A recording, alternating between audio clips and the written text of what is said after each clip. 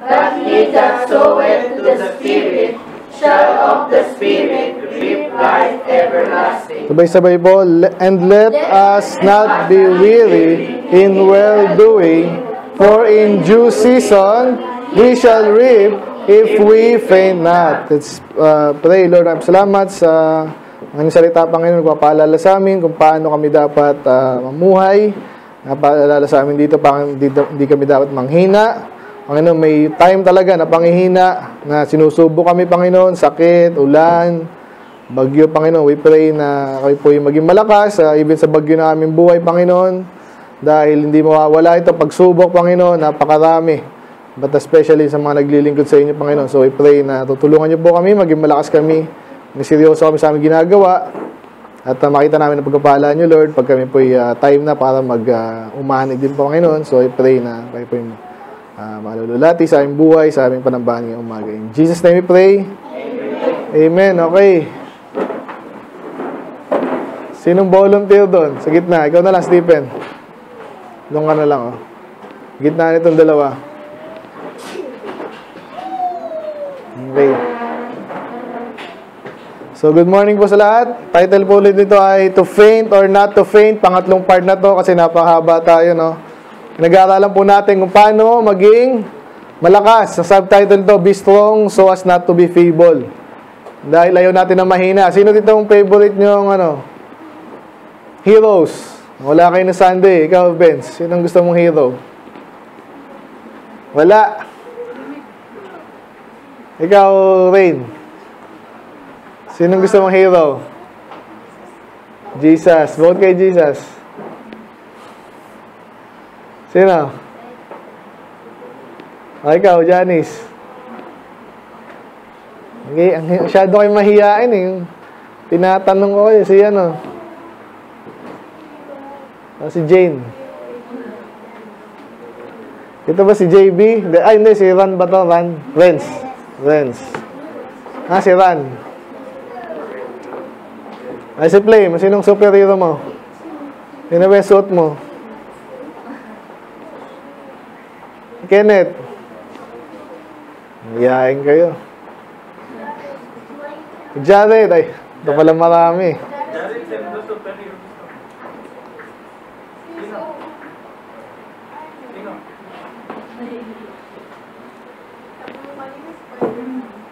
Spider-Man. Siya siya. Wonder Woman. Si Chelsea. Ha? Si Lian. Wala. Siya. Yanis tuloy.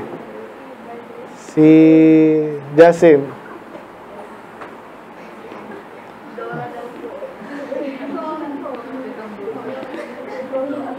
Okay, so gusto nating mga superhero, palakasan niya mga yun, di ba? Kasi pangit nung mahina, yung ba patalinuhan. Kaya sumisikat yung mga yan eh. Million-million kinikita niya, billion nga eh. So niloloko lang naman tayo, no? Pero yun nga kasi ang tao, gusto ng hero minsan. Pag di mo kaya, gusto mo ibang gagawa para sa'yo. Pero maganda, ikaw na lang yung palakas, di ba? At ang Panginoon naman, tama si ano, yan ang pang, ano natin, hero natin na totoo. So last week, yung uh, pinag-aralan po natin ay uh, spiritually, especially, uh, yung mga bagay na nagpapahina sa atin. Ayaw natin yan, di ba? Ano ba yung nagpapahina sa atin? Inaral natin, minsan kulang ka sa pagkain. Spiritually, kulang ka sa church, kulang ka sa pagbabasa, kulang ka sa pray, kulang ka sa fellowship. Ang ina ka talaga, di ba? Iba sa atin dito, naalala ko, Tingnan yung mga pages dati ito talaga, panay atento, di ba? Uh, nag-aawitan, masaya sa church. Bandang uli, nang hina. Kasi kulang sa pagkain. Hindi kumakain. Kala mo, mga anak ko, pag hindi kumakain, hindi ko maintindihan minsan eh. Pero dati kasi ganun din ako dati. Minsan nga, wala sa appetite. May something's wrong. Kailangan mo ng vitamins or kailangan mo tune yung katawan mo. Okay, pa spiritually, ganun din. So, minsan kailangan natin, ano, kailangan nyo kausapin, usap tayo, amen? Meron kang dinadamdam dyan. Iba sa atin kasi, minsan, tinaniman tayo na sa talas ng ano eh, problema sa buhay. Hindi ibig sabihin na wala ka na magagawa.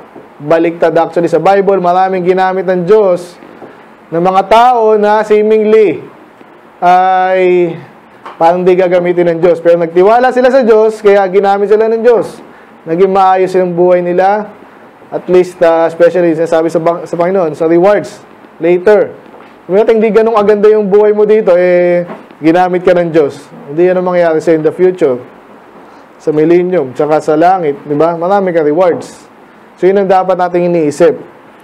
So, kaya hindi tayo, hindi enough dapat sa atin yung konti-konti lang ginagawa natin sa Panginoon. So, kung kailangan mong ano, katulad Stephen yun.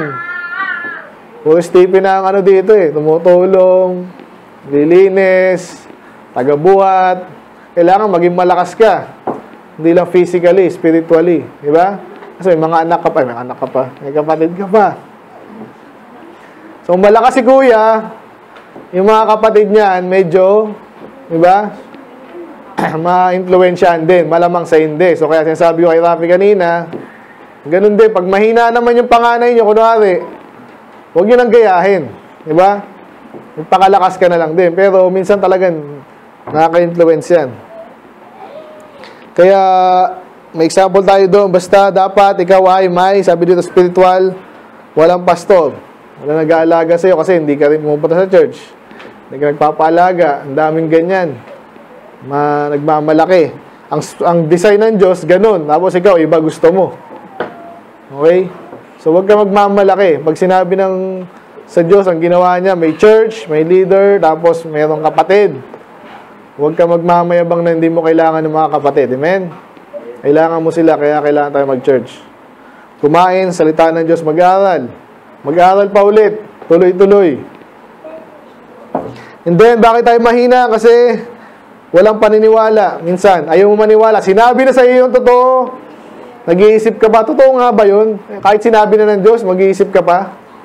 Maniwala ka. Kasi sabi ng Diyos eh. So, pag hindi ka naniniwala doon, manghihina ka talaga. Kasi wala ka nang ipapalit doon eh. Meron ba bang mas mahigit sa salita ng Diyos? Sinabi ng Diyos, wala na. Manghihina ka pag may iba kang iniisip na magpapalakas sa'yo. Okay, so number one, lack of food. Number two, unbelief. Number three, punishment from the Lord. Okay, pag, pag ikaw na pinarusa, sobrang tigas ng ulo mo, pinarusa ka lalo kang manghihina. Okay? So, hindi mo gusto yon. Then, enemies. Okay, pag ikaw ay may kalaban at ikaw ay uh, tinitret, ganito gagawin ko sa'yo, huwag ka na mag-church, baka virus ka. Virus, virus, virus. May variant na mas matindi. So kaya ngayon, hinang-hina yung mga churches. Kung hindi man, yun, nasa church nga, nakamas. Nagpipreach yun, nakamas. No? Nakapakamot ka na lang eh. Yung iba, ay malayo naman siya sa tao. Tapos yung iba, mayroon parang ano dito, may... May, may, may tawag doon. Hindi plastic oh, yung medyo matigas. Parang sa plexiglass, di ba? Nakaganon na, tapos nakamas pa, tapos ano, parang ng Darth Vader. Hirap ng gano'n. So, pag ginagawa mo yun, yung mga tao, lalong natatakot din. Lalong di ka makakasigaw nun, di ba? Hindi ko nakikita yung mukha mo. Pero kahit mga politiko, pag walang camera hindi nakamas. Nuloko tayo. Anyway, punishment and then enemies, mga threat dyan, kung ano man yan, sakit, lindol, bumaha, baka babaha. anyway, then weariness from work or battle, ibig sabihin, sobrang nahihirapan ka na, kaya ka nangihina. So, ano pala yung mga solusyon dito? Pag food, pag lack of food, hindi kumain ka, pag spiritual, magbasa ka, mag-aral ka, magtanong ka, mag-aral ka, mag-church ka. Pag unbelief, edi maniwala ka na. Hanapin mo yung totoo. Pag nakita mo, paniwalaan mo. Ngayon, pag pinaparusahan ka na ng Diyos, di mag-repent ka. Hindi yung mas matapang ka pa.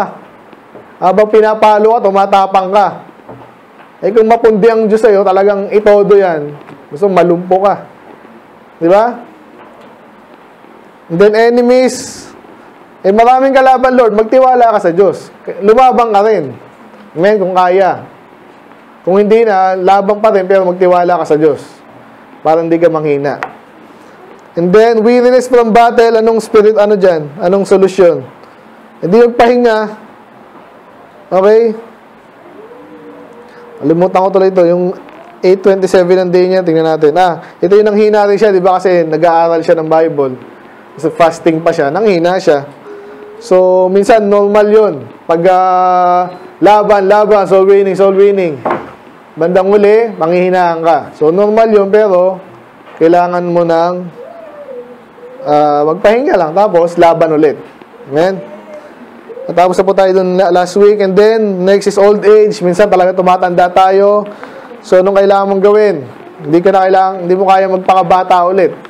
E pasa mo na lang yung skills mo sa mga bata. Pwede, di ba? Turuan mo yung mga bata, sila yung gumawa ng hindi, hindi mo kaya, yung hindi, hindi nila kaya dahil wala mo silang experience, ikaw mag-provide. Di ba? So, ganun yun. Actually, kay David yung example natin, at least na-prepare niya si anak niya. Trouble. Ito yung mga bagay na hindi mo kayang i-avoid. Pinanganak ka, problemado na agad yung pamilya nyo. Anong gagawin mo? Diba? Kaya nga tayo may church. Lagi sinasabi sa inyo, kung hindi matino ang pamilya nyo, may matino kayong pamilya na pinuvide ang Diyos sa inyo sa church. Amen? Ano pang kailangan mo dito? May leader, may kapatid, ano pa? Ang pinakatatay natin, si, si God the Father, matinong tatay. Ano pang kailangan mo? Hindi pwede sabihin, Pastor, yung pamilya ko, napaka, ano eh, eh, pagpasa Diyos mo na yon. Kung kaya mo silang dalhin sa church, dal dalhin sa Panginoon, di, kung hindi ka talaga kaya, at least may pamilya ka pa rin sa Panginoon. Amen? And then, yun lang pala yun, no? Then lack of, uh, sabi natin itong kasalanan, syempre, siningit natin. Nakakapagpahina yan. Ganyan na nangyari sa mga Kristiyano. Ang lakas-lakas mo, biglang-bigla, Oy, ayoko na mag-church. Bakit? Eh, syempre, hindi mo na sasabihin yan, di ba? Eh, kasi gusto kong mag-TikTok. Ayaw mo sa TikTok, pastor, eh. Gusto kong lumande. Gusto kong mag-ML. Gusto kong... Di ba? So, yung kasalanan, nagpapahina yan. So, ngayong manghina, umiwas ka dyan. Lamentation, walang entertainment fun. Okay? So, actually, pinanish din sila dito. Pero nakita ko kasi doon, wala na sa kanilang entertainment. Kasi wala na eh. Sinakop na sila eh. So, nakakapagpahina rin yun. And then, lack of prayer. Uh, puntahan natin yon Bago tayo pumunta sa ating part. Sabi sa Luke 18 1 Ibasa nga po. Ready, go.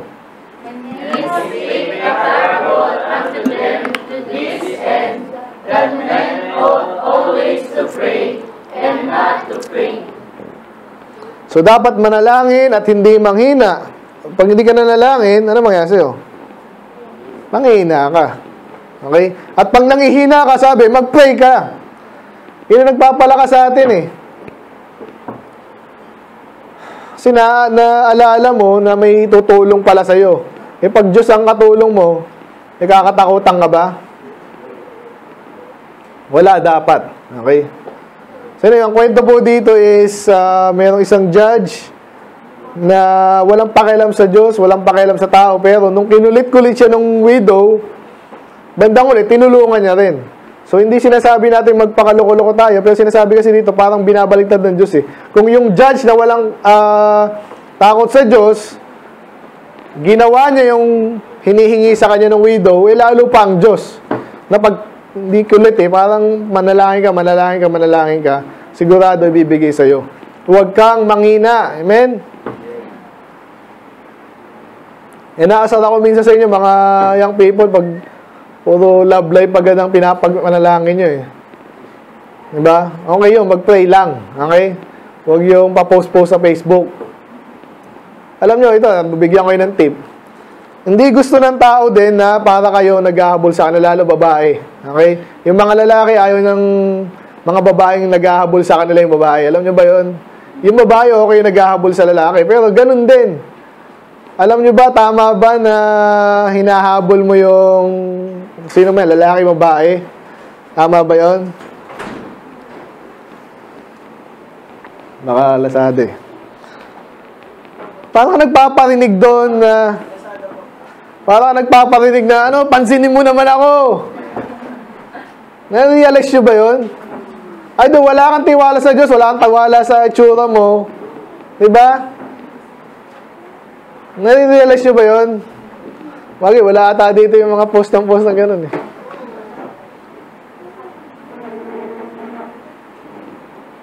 Hindi mo kailangan sabihin nyo sa Facebook, iba naman, mga spiritual, Lord, ganyan, ganyan. Ang madalas, pinopost ko lang sa, ba- sa Facebook yung mga warning sa ibang tao. Kasi yun ang pag minsan, pag hindi nila alam eh, sabihin nila, "Ma- hindi ko naman alam eh. Di ba? Pero nananalangin ko na sa Diyos, ba't sa Facebook? Hindi, hindi ka na lang mag-pray. Di ba? Mas makaka, ano ka pa. So, pray lang. Amen? Kasi matindi mga problema dito. Ayaw niyo umamin eh. Sigurado ako, meron sa ako. Nakikita ko yung problema niyo eh.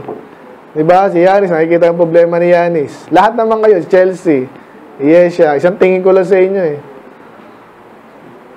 Diba, inaalam ko yung buhay niyo para matulungan kayo. Pero, ito sabihin ko sa inyo, kahit gusto namin kayong tulungan, tinutulungan namin kayo, hindi ko kayong tulungan kung hindi nyo tutulungan ang sarili nyo. Amen? Magtiwala ka sa Diyos. At least yung basic na kaya mong gawin, umatin, mag-pray, manalangin, basa ng Bible, makinig, pag nandito ka na sa church, gawin mo yun. Magtiwala ka sa Diyos. Marami ng ah, ginawa ang Diyos sa mga buhay ng maraming tao na nagtiwala sa Kanya. Huwag kang manghina. So ngayon, dito na tayo second part po, kasi sa third na tayo. Bakit hindi tayo dapat manghina? Ano yung mga dahilan? Ba't hindi tayo dapat manghina? Okay? So number one, kasi pag ikaw ay nanghina, basahin natin sa Deuteronomy 25. May sinasabi sa atin sa Bible, warning. Pag ikaw hihina, hina, hina, hina ka, ano mangyayari sa'yo? Eh, hindi ako nila gagalawin kasi mahina nga ako eh.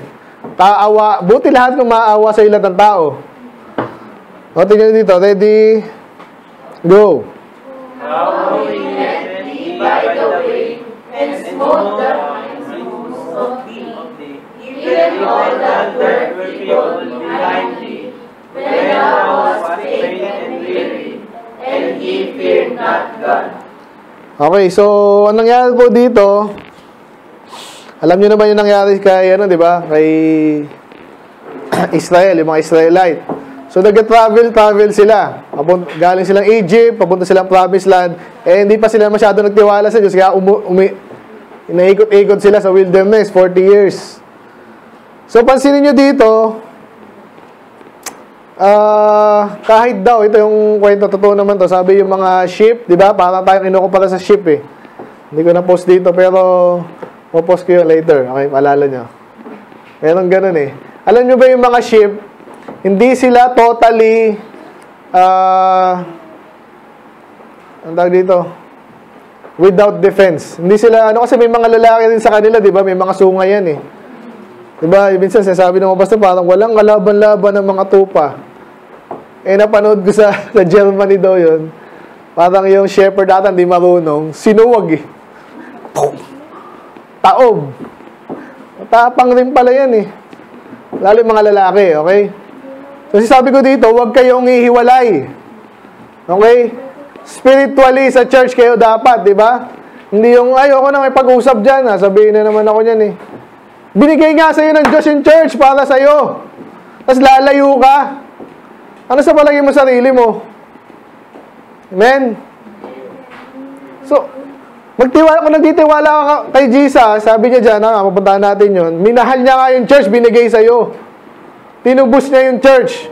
Para kayo, magsama-sama ka sa kayo. Ngayon, kung medyo yung shepherd, may ginagawang iba, okay, daw dapat inaalagaan kayo. Pero minsan, kailangan nyo ng fellowship. Sabi doon yung mga tupa, pag sila ay nagsama-sama, at yung mga mahihina, sino mahihina sa mga tupa? O syempre, mga bata, di ba? Yung mga bata, tatangayin niya ng kalaban. Pero pag hindi umiwala yan, doon sila sa mga lalaki nila, ginagawa nila pag may mga wolf, pinapaikutan nila yung mga babae, yung mga bata nasa gitna. Tapos yung mga nakapalibot, yung mga lalaki, may sungay. Mga kalaban sila. So, alam nyo, takot na kahit yung mga wolf pag ganun. So, ganun din dito. Nangyari dito, may kalaban sila. Alam naman nila yun eh. Galing nga sila. Wala silang sariling bansa. Magala-gala sila. Eh, may kalaban sila kahit saan. Di ba? Yung iba, tinalo na nila iba. Pero dito, yung iba daw hihina-hina, sabi dyan, faint and weary, ano sabi dito? Eh, pinatay sila ng mga Amalek. Okay, later pinatay nila yung Amalek. Pero, ito nga sinasabi dito, pag ikaw hina-hina, ang point number one natin sa reasons to make us not faint, sa Tagalog, ah, bakit hindi ka dapat manghina? Kasi number one, ikaw yung target ng kalaban. Madali kang targetin. Di ba? Pag wala ka sa church, alam mo yung mga maling turo dyan, andyan-dyan lang yan, kung saan-saan, sa internet. Di ba? Yung mga iglesia ni Manalo, active na active. Ikot-ikot dyan, mga, mga demonyo, di ba? Ito, galing na sa Baptist to, umalis pa. Sige, usakin natin. Ligtas daw to. O, sige. O, dito ka na lang sa amin, mas malaki kami, tapos bibigyan ka namin ng panghanap buhay. O, sige, okay. Okay na ako dyan. Di ba? Yung mga Yeshua dyan, o, yan. Alam nyo ba, pangalan ni Jesus, hindi Jesus? Eh, hina-hina ka ngayon. Eh, tinuturo ka ngayon ng tama dito. Kaso, ikaw, pa-absent-absent ka. Hina-hina. Hina-hina. Ano mangyari sa'yo? Ikaw ang unang tatamaan. Ikaw ang unang-una na ma tatangay ng kalaban. Amen? Kaya yun ang number one. Huwag niyo sabihin, ano, hina-hina. Kasi kung mahina ka, at least dyan, ka sa church. Amen? Napoprotektahan ka ng pastor. Kasi hindi ka umihintong mag-communicate. Iba sa atin, binablock na ako. Eh, Wala na akong magagawa doon. Anong gagawin ko? Dati nag-uusap kami, praise the Lord. Salamat po, sige po, ito po, ganyan. Maya maya binablock na ako. Anong gagawin ko? Wala na. Diba? So, may time din tayo sa kanila, pero malamang sa hindi, wala na. May iwan na sila. Amen? Ganon din kayo, pag na kayo, may iwan kayo, bandang huli, iba, pinagpapala na, natututo na, malakas na, ikaw, hina-hina ka, natangay ka na. At maraming ganyan, example sa church. Napakarami na. Kaya number one, huwag kang mahina kasi ikaw ang unang mabibiktima. Number two, ito, medyo marami tayo. 27 ng Psalms. Malinaw yun ha. Psalms 27. Bakit dapat hindi tayo manghina-hina? Ako muna, I had fainted unless I had believed to see the goodness of the Lord in the land of the living. Sa Tagalog, siya'y nanghina. Sabi dito, unless, ibig sabihin nito, dapat hindi ako manghina. Okay? At ako, pag hindi ako nanghina, yun ang sinasabi dito, at ako'y naniwala, yun ang magka, magkabaliktaran yan eh. Yung pahina-hina, hindi naniniwala. Yung naniniwala, hindi may hina-hina. At pag ikaw din naniwala, syempre hindi ka manghihina, ano daw yung mangyayari sa iyo? Makikita mo yung kabutihan at kagandahan at ah, pagiging ano yung goodness. Yung biyaya ng Diyos, basically blessings. Okay? Yung iba kaya hindi makakita ng blessing minsan, gusto mo mauna yung blessing bago yung ano, yung pagsubok tsaka yung pananampalataya sa Diyos. Hindi pwedeng ganun. Amen? Yung iba sa pag-aaral na lang, yun yung ano natin, madalas example natin kasi mga bata kayo eh. Iba sa inyo, nabalita ko, tinatamad mag-aaral. Eh yan na nga ang shot nyo eh. Alam nyo ba yun? Salamat sa Panginoon kahit sa papaano sa Pilipinas, ah, kahit papaano ha, yung iba nandadaya, pero kahit papaano sa Pilipinas, pag nag-aaral ka, may opportunity ka. Di ba? Narinig si Sir Alice dito last time. Yun ang gusto niya sabihin talaga sa inyo eh. Kasi siya, pinagpala siya sa ganung bagay. Hindi sila mayaman dati. Eh, inaayos niya yung trabaho niya, pag-aaral niya. Sinagsikap siya. Tatamad-tamad. Okay, ano nangyari? Ano nangyari? Yung iba, alam niyo na, hindi ako nanlalait ha, pero maganda lang ma maintindihan niyo rin mga bata. Huwag kayong ano, di pa naman kayo pusong mamon, di ba? Bata pa kayo eh. Alam niyo ba iba, di ba, hirap na hirap magtrabaho, tapos anong sweldo? Maliit. Di ba? Bakit hindi makabili na minsan ng maayos na bahay, ganyan? Wala eh. Pero nakita niyo yung iba, maganda na yung bahay, malaki na, bibili pa ng another. Eh, iba naman yung kalabisan naman yung iba. ah. Eh, Sa ating pag-usapan yun. Pero, minsan, pag talagang pinagpala ka ng Diyos, minsan, wala kang paglagyan ng blessing. Amen? Yung sasabi dito, ang buti pala ng Diyos. Ba't hindi ko alam yun? Ba't sila alam nila? At alam nila, natatanggap nila yung blessing ng Diyos at talagang tuloy-tuloy pa. Saya nun, di ba? Gusto niyo ba ng gano'n? Siyempre, gusto niyo ng gano'n. Kahit di niyo alam na gusto niyo, gusto niyo yun. Blessing yun eh. Yung mga sa atin, nagiging ano na lang, parang, eh, okay na ako dito. Kasi nangihina ka na, yun yun. Okay? Pero ngayon, kung nalalaman mo na ang Diyos pala, mayaman pala siya, madami siyang pwedeng bigay sa'yo, at wala siyang limitasyon, hindi kayo tatamad-tamad dyan, hindi kayo hina-hina dyan, eh, sa inyo na lang yan. Langit naman ako eh. Eh kung pwedeng, pwede kang merong pareho, ayaw mo. Saka pag meron ka rin, minsan nakakatulong ka lalo. Amen? So para kang nag invest na nag invest nun. Patong-patong na blessing na.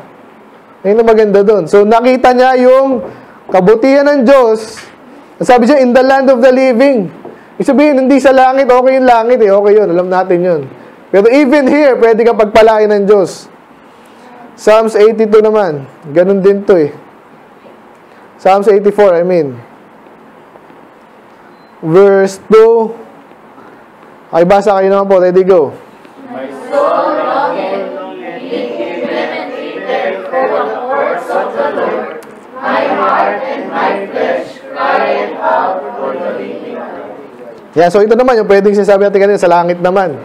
Minsan tayo nangihina pero tayo gusto natin, minsan yung mga ma- makapahinga na rin tayo, di ba?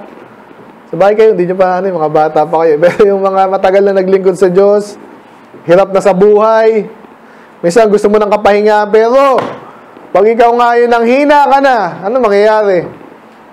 Malapit ka na doon, tapos di ka pa nakarating.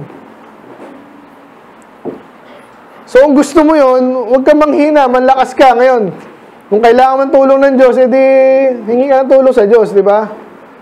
Pero gustuhin mong makarating dun sa, ano daw yung gusto niya, pag sinabing courts yan, ibig sabihin yung, parang sabihin natin bahay ng Diyos. Ibig sabihin dun sa border ng kanyang nasasakupan. Amen?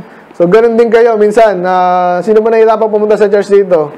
Wala naman siguro, di ba? Yun nga, unless umatake yung katamaran, yung takot sa COVID, takot sa ulan, takot sa lindol, takot sa kayo takot? Okay, last, sa Galatians 6.9, yung nabanggit natin kanina, ito yung pinaka-text po natin. Sabi dyan is, And let us not be weary. Huwag kang mapagod. Nakakapagod yan, pero iba kasi yung, iba yung pagod na, alam nyo ba yung sinabing, pagod na ako sa buhay ko. Nakita niyo ba yun? Yan, umihi. Napapahikap na tuloy, oh. Okay lang yung mapagod. Kahapon, pagod na pagod kami kasi nga naglinis kami bukod sa nag soul winning. Linis na naman kami dito kasi nga ganun eh. Ultimo, singit-singit niya, lilinisan mo, lahat yan. Nakapagod, tapos, nanay, magluluto pa. Stephen, pagod na. Kapapanood. Hindi. Pagod yung Stephen eh. Pero ito yung maganda dito, pag napagod ka ng physical, pwede ka matulog, bukas, malakas ka na naman, kumain ka lang, di ba? Ibang tao, tap, sabihin, pagod sa buhay. Ang hirap ng gano'n. Ibig sabihin, nakakain ka na, nakapahinga ka na, pag gising mo, pagod ka pa rin. Ibang klaseng pagod yun. Ito yung sinasabi dito, weary. Kasi nga, wala kang tiwala sa Diyos. Ngayon, buhay, ganyan na naman yan. Even mga pastor, minsan, ganyan ang nakikita ko. Halit na main college ka, nakaka-discourage eh. Parang attitude sa ministry, ganito na naman, papaawa. Ako din yun ako marinig magpaawa. Kasi nakita ko rin sa iba, hindi maganda. May, kung may problema ako, sasalilinin ko na yun. Unless uh, kung makakatulong ka talaga, di ba? Papaalam ko rin sa'yo. Pero, hindi nyo marinig si pastor na, eh, ako naman, prepare na naman ako sermon, hindi naman makikinig yung iba. Minsan, sinasabi ko rin pala yun, no? Pero, Huwag ka manghina, amen? Sabi kasi dito, in due season. Ibig sabihin, hindi naman na lagi agad yan. eh. Merong takdang panahon na tinalagang Diyos sa mga taong magtatapat sa Kanya na hindi pa hina-hina o kung manghina ka man, bangon ulit. Ano mangyari daw? Ikaw naman ay aani. Ganun ang prinsipyo ng pag-aani, hindi yan mabilis. Yung tomato ko, medyo lumalaki na. Yung kamatis ko, hindi ko, parang nabansot na. Ayaw nang tumubo. Tatanim pa ako ng talong dyan. In due season. Tsaka ng sili. Aani din ako, amen? Eh, masarap nga dito, di mo kailangang diligan eh. Kasi dyan lang yung ulan. Kasi yung mga bulaklak ko dyan, oh, bulaklak ulit dyan, di saya ko na naman. So, huwag kayong manghihina, amen? Punta na naman sa church, gising na naman ang maaga. Mag-aaral ka nga lang dyan. Ang maganda sa church, yung aral natin dito, matindi. Nakaupo ka lang ganyan, di ba? Si pastor yung talaga nagtatrabaho eh. Trabaho rin yung utak mo. Makinig ka na lang. In due season, gusto niyo ba umani? Sino yung gusto mong umaani dito lagi? Walang ganun eh. Gusto natin umani pero hindi lagi. Merong panahon. Minsan taon, minsan dekada. Ako ang gusto kong anihin dito, yan, salamat, may mga naliligtas. Gusto ko naman anihin yung mga mga matapat na Kristiyano. Amen? Gusto ko si Chelsea pag 10 years after, talagang tapat na tapat na Kristiyano na, ma- masipag, matalino, naglilingkod sa Diyos. Yun ang gusto ko, lahat kayo. Si DM, gusto ko, pastor na, hindi naman. Si Yesha, matapat na Kristiyano. Si Brad, yan, maganda, pinagpapala na to pamilya na to eh. Sila, umaani na sila. Pero pwede pa ulit, di ba? Marami pa yan eh. Yan, papagamit pa yung advance, hindi ko nga sinasabi yun eh. Pero, salamat. Kung ganon, di ba? Kasi hindi naman natin sila ano eh. Ang aani niya, yung bang anak nyo, pag nagtapat sa Diyos yan, yun ang gusto ng mga magulang. Amen? Gusto ko ako, mga, mga anak ko, maglingkod sa Diyos. Yun na lang. Hindi masyado yumaman. Kung yumaman sila, di salamat din. Pero yayaman sila, mawawala sila sa church, katulad ng ibang alam ko, ayoko na. Amen? Ganun din sana, si patuloy itong mga magkakapatid na to eh. Pinsan. Ito si Chelsea, si Lian. Ito, lalo na itong mga to. Dati, saya ko, dami nyo dito eh. Pero magtapat lang kayo, men. Ayaw ng iba, eh, ikaw na. Ito, si ano, yes. Hindi natin alam. Di ba? Baka maging pastor's wife pa to, si si Yanis. Hindi mo lang makakapagsabi. Men, yung pastor ko, ganyan din ang, ano, hindi naman ganyan, exactly. Pero marami na kayong kilala. Minsan, disadvantage sa buhay, sila pa yung naglingkod sa Diyos. Ang nakakapahiyain sa atin, no? Matulad, matulad ko na yung, ano, sino pinagpala dito? Si Jamie. Yan. Dapat maglingkod kayo sa Diyos. Alam nyo naman na yun eh. Si, yan. Huwag kayong manghina. Amen? In due season. Tapusin natin to. Dito sa, ano pang mga nabukod sa number one pala, huwag kang manghina kasi kayong talo. Ikaw yung unang kakainin ng aso. Pangalawa, para makita mo yung pagkapala ng Diyos, di ba? Kasi iba nga, aanin na pala, tapos biglang tinamad. Sayang, di ba? Yung lagi kinakwento ni Pastor, yung meron daw swimmer. Ano rin, sabi natin isang kilometro yung si- nilangoy. Malapit na siya, saka, ay, balik na lang ako. Nakakatamad eh. Bumalik. Eh, malapit ka na nga sa finish na eh, bumalik ka, lalo kang pagod. Wala ka pa narating. Ibang Krisyano, ganun eh. Nagtampo lang kung kanino. Parte ng buhay yun eh. Huwag ka mag-expect ng minsan sa ibang tao saka sa Diyos na hindi naman pala para sa'yo. Anyway, so number three, bakit dito tayo maghina? Dahil sa dami pa pala nito. Bilisan ko na lang kasi iba, iba dito common na lang eh. Psalms 119 81. Sabi dito, My soul fainted for thy salvation, but I hope in thy word. Okay, sabi sa Psalms 48, 40, 28. Isaiah 40. Nasaan na ba Isaiah? Yan. 40, 28, sabi dyan, Hast thou not known, hast thou not heard, that the everlasting God, the Lord, the creator of the ends of the earth, fainted not, neither is weary, there is no searching of His understanding. Ibig sabihin nito, bakit hindi tayo dapat manghina? Kasi ang Diyos hindi nanghina. Kahit ikaw yung manghina, ang Diyos hindi nanghina. Eh kung humingi ka sa Kanya, humingi ka ng tulong, tatay mo siya, ba't ka manghihina? Amen? Isaiah 40, 29 naman, ito lang. He giveth power to the faint. O, faint ka ngayon, siya yung nagbibigay ng lakas sa'yo. Manghihina ka, humingi ka na lang. And to them that have no might increase its strength, even the youth shall faint and be weary, and the young man shall utterly fail. So alam na natin to, di ba? Kinabisado natin to.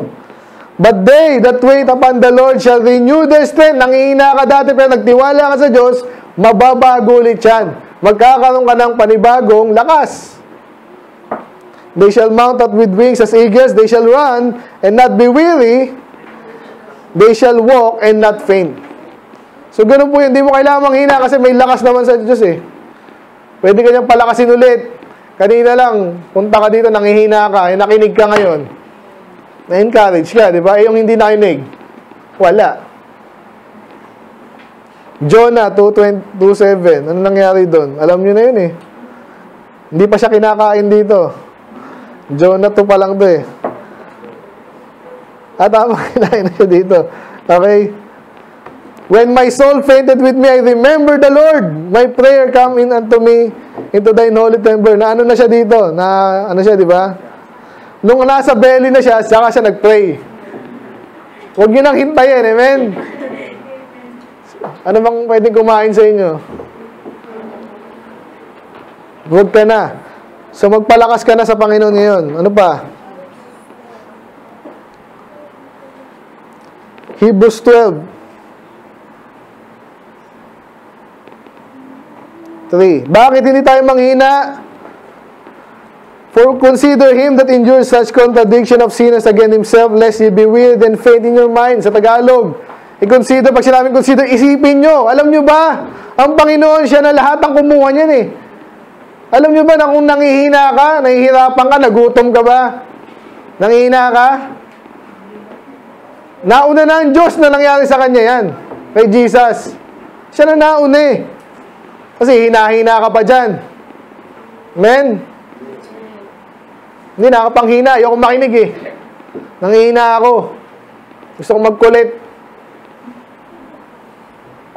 Nauna na ang Diyos sa inyo. Kaya ang point number 3 natin, we have hope in God. We have hope in God. He does not faint. Pinagdaanan niya na yan. Magtiwala ka na lang sa Panginoon. Amen? Hindi mo kailangang manghina.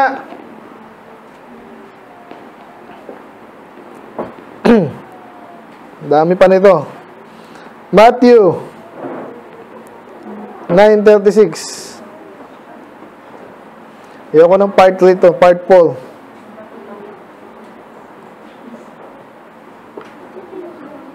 Mali pala ako eh. Matthew 9.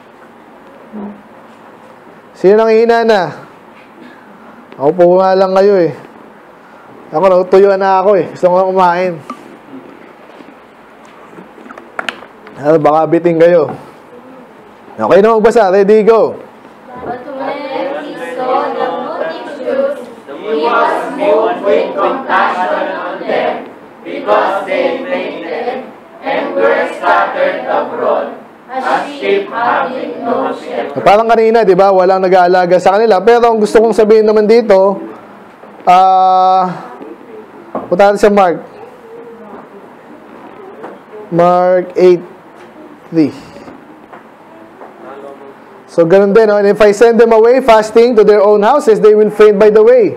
For divers of them came from afar. So, ito yung kwento na sumusunod yung mga tao kay Jesus, ang layo-layo na nila. So, wala na silang pagkain. Okay? So, ang maganda nito, pag hindi ka nang hina, ano mangyayari? Ano nangyari dito? Pinakain sila ni Jesus at ano nangyari? Even sa panahon natin ngayon, alam natin, miracles. Pwedeng gumawa ng Diyos ng miracles at pag mayroong miracles, yung mga nangihina, anong nangyari? lumalakas din. 2 Corinthians 4, 1. Therefore, seeing we have this ministry also, as we have received mercy, we faint not. Nakita niyo, nangihina kayo kaso kinawang kayo ng Diyos. Diba? Sa atin, gano'n, ang ano, nabanggit ko kanina yung kasalanan, nagpapahina, eh, kinawang ka ng Diyos. Pinatawad ka ng Diyos. Amen? So, may hina-hina ka pa ba dyan? Pinatawad ka na nga. Di ba parang sa, yung kwento rin dito, wala na siyang pambayad. Eh, kinansel lahat ng utang niya. Sarap nun, no? Okay, parang, gusto ko, kasi pag panay utang ka, panay bayad ka lang sa utang mo, parang nangihina ka, di ba? Lahat na ng kinita ko, napunta sa utang mo. Eh, pinatawad lahat. Ay, sige, magsisipag na ako ngayon para sa akin na lahat to. Alam mo, ganun ginawa sa atin ng Panginoon eh. Kaya dapat di ka hinahin, para kang hindi pinatawad, para kang hindi... Kaya na pa kayong tatlo dyan. Makinig kayo. Pinatawad ko na kayo, makinig na kayo ha. so pinatawad na sila, kaya sabi dito, hindi kami nangihina. Ganun dapat ang attitude natin sabi sa 16. Tingnan nyo ha. For which cause we faint not na naman. Bakit? But though our outward man perish, yet the inward man is renewed day by day. So hindi ko yung dapat kipong tayo hindi, nag-asala na ako, pastor, kung alam mo lang, yung kasamaan, dati ginawa ko. Dati kong makulit. Kanina lang, ang kulit-kulit ko. Ngayon, kaya hindi na ako makikinig kasi ang makulit talaga ako eh. Pag sinita ka na, tumigil ka na, tapos tuloy. Kanina ikaw yung makulit, ngayon ikaw yung nakikinig. O, di okay na. Di ba? Dati kang na, hina-hina ka, di ka nag-church, nagsisi ka na ngayon. Nag-church ka na ngayon, sa palagay mo, babanggitin ko pa ulit yun. Ito dati, dito nag-church eh. Unless, alam mo na, minsan example din. Pero pag lumakas ka na, wala na. Parang nakalimutan na natin yun. Amen? Kaya hindi ka dapat manghina. Ephesians 3. Nihit na lang natin ito mamaya. Uh, sasummarize ko na lang. Sabi dito, Wherefore I desire that ye faint not at my tribulations for you, which is your glory. Wherefore I desire that ye faint not at my tribulations for you, which is your glory. Ano yung glory daw nila? Yung yung tribulation ni Paul. Okay? Parang sinasabi niya dito, kayo nangihina. Ano lagi sinasabi ko sa inyo kanina? Gutom na ba kayo? Nangihina kayo sa palagay niyo ako. Parang ganun yung sabi ni Paul eh. Kung ikaw nag-preach, tapos kung ikaw si Paul, ang dami mo na pinagdaanan, tapos yung iba, nangihina ba kayo? Okay bang ba kayo dyan? Alam niyo ba kung nagulpi ako dati? Tapos, ganun sinasabi, yung mga pinagdaanan ko, yun nga yung dapat, salamat at hindi na kami dumaan doon. Lalo kami manghihina pag dumaan kami doon. Amen. Kaya ang number four natin, that others may be strengthened also. Okay? Hindi ka dapat manghina kasi easy target ka para makita mo ang kabutihan ng Diyos, para ang Diyos naman ay siya na yung nag, uh, hindi siya nag-faint, so dapat di tayo manghina. At pang-apat, parang iba hindi manghina. Okay? Pag ikaw nakita ng iba, ay si ate ano, alam ko dati, si Kuya DM dati tulog mantika to eh. Pero pag ngayon, talagang church, church din. Kaya si Yesha ngayon, ay, sige ako din. Di ba? Lumalakas ka rin dahil sa kalakasan ng iba. Yung kahinaan ng iba, pag nakita mo na overcome nila, lumalakas ka rin, di ba? Kaya huwag ka nang hina-hina. Last, kung yung iba hindi nang hihina dahil hindi ka nang hina, sino pa yung ma-honor daw pag ikaw ay hindi nang hina? Tingnan natin. Kayo ulit, ready, go. And has borne, and has patience, and for my name's sake has labored, and has not Yun. Okay, sa nagsasalita si Jesus, kinakausap niya sino? Yung church that are in Ephesus. So yung mga taga-Ephesian, mga Ephesian, minsan nangihina na rin sila, pero nagpakalakas-lakas sila at sabi nila, hindi sila nag-faint. Para saan? Ba't sila hindi nang, nangihina na sila pero hindi dapat sila manghina? Anong iniisip, sinong iniisip nila? Iniisip nila kasi ang Panginoon mapapahiya. Alam nyo ba yon? Kaya minsan sinasabi natin, ibang churches, naghinto na mag-soul winning. Sino napapahiya doon? Eh, siyempre ang Panginoon. Kaya tayo dapat di tayo manghina. Amen? For my name's sake, thou was labored. Pag nakita ng mga tao, ba't ang sisipag nitong mga to taga diadem? Di ba? Hindi dahil sa gala, ah, dahil para sa pangalan ng Panginoon. Amen? Tuloy-tuloy lang. Church na naman, prayer na naman, basa na naman, soul winning na naman, discipleship na naman. Parang Panginoon, siya yung itataas. Amen? Amen. Napakinggan ko yung CCF nung isang araw. Kasi interesting yung topic. Eh. Isip ko, ano kaya sasabihin ito? Ha? Oo. Kasi labas siya ng labas doon sa suggestion ko eh. Siguro, tama. Tingnan natin. Bandang huli, ayun nga, alam ko na kung saan nanggagaling yung iba eh. Ganon, napaka-weak. Sabi, ah, huwag ka maging dogmatic dyan sa ano. Ayan.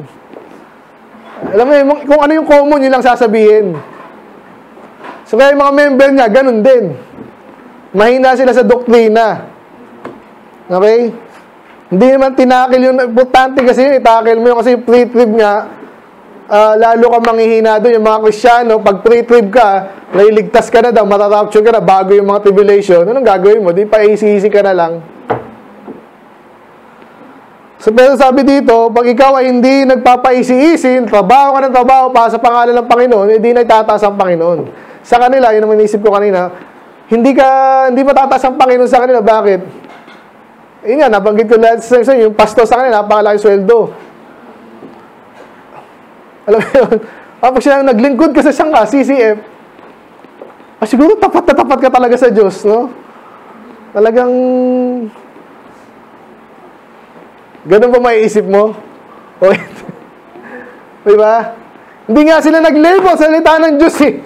Kitang-kita mo, walang alam. Pero, sarap ng buhay. Sikat na sikat. Daming member, kunwari. So, hindi ang Diyos ang naitataas doon. Sino naitataas doon? Yung mga businessman, yung mga, yung sabi nga nila, yung mga founder nila. Inalis na nila yun eh. Pero hindi ko makakalimutan yun eh. Naitayo ang CCF dahil mga businessman ay nagsama-sama at nagtayo ng church. Wow! Praise the Lord! Ganun ba yun? Hindi ang Diyos natin. Ngayon, ngayon, tayo ngayon, maliit lang tayo, di ba? Sinong matataas? Pag kayo, attend ng attend. Soul winning ng soul winning. Sino may tataas? Na wala naman tayong kinikita na napakalaki. Sino may tataas? Ang Diyos ang may tataas kasi walang iba eh. Walang ibang matuturo, walang ibang iisipin ng Diyos. Kaya paano sipag nito? Dahil sa pera, wala eh. Wala silang masabing ganun. Amen? Amen. Dahil sa pangalan ng Panginoon. Yung sabi sa inyo, again, last is, magpakasipag-sipag tayo. Huwag tayo manghina. Para ang Diyos may taas. Pag nagtaas ang Diyos, ano mangyayari? May kilala siya na iba, maraming maliligtas. At kayo din, siyempre, may reward tayo sa Panginoon. Amen? Kaya huwag tayo manghina. Amen? Be strong by making yourself strong in the Lord. Yun ang pinaka-message. Ato talaga nangihina ako, pastor. Eh. Magpalakas ka. Pag malakas ka na, hindi ka na mahina, hindi ka na manghihina. At para kang si Diaz. Lakas nyo. Eh, nagpalakas siya na nagpalakas eh. Buhat ng buhat, buhat ng buhat. Oh. Ngayon, dahil yung bahay, di ba? Tayo spiritual, ganun. Sana magsikap tayo, ang Panginoon matataas, hindi si Diaz, hindi ang Pilipinas. Dahil Pilipinas, ano ba Pilipinas? Ang Panginoon ang taas natin. Amen? Let's pray. Lord, maraming salamat sa inyong pinakita sa amin na minsan nanghihina kami. Ba't hindi dapat kami manghina? Uh, bagkus, Lord, manglakas kami, Lord, magpalakas. Ah, sa inyo, Panginoon, sa mga panahon talaga nanghihina kami, Panginoon, maalala namin na kayo po ay nagbigay ng example. At kami po ay Ah, naligtas ni Panginoon sa inyong gawain. At ang Panginoong Isus, especially Panginoon, pinagdaanan niya yung mga dapat namin pagdaanan din po, Lord. Hindi lahat, but still, ah, nakita namin doon ang kanyang ah, willingness, Panginoon, na minahal nyo kami, Lord, para maligtas kami ngayon. Ligtas na kami, ay dapat din namin kami hindi manghina, Panginoon. Marami, kayo nagpo-provide, kayo hindi nangihina. Pwede kami tumawag lang sa inyo. Diyan kayo, magtutulong, Panginoon, anong kailangan namin. I pray ng bawat sa dito, Lord, ay hindi pahina-hina. I pray magiging malakas. At ang mga nakarinig din dapat dito, Lord, ay hindi kayo na manghina. Ah, uh, bagkos, Lord, kabaligtaran kayo po yung maging malakas sa inyo, Panginoon. Tiwala kami sa inyo para hindi kayo mahina, Panginoon. So, kayo pong Malulati lamang yung kalakasan na kami makita, Panginoon. In Jesus' name we pray.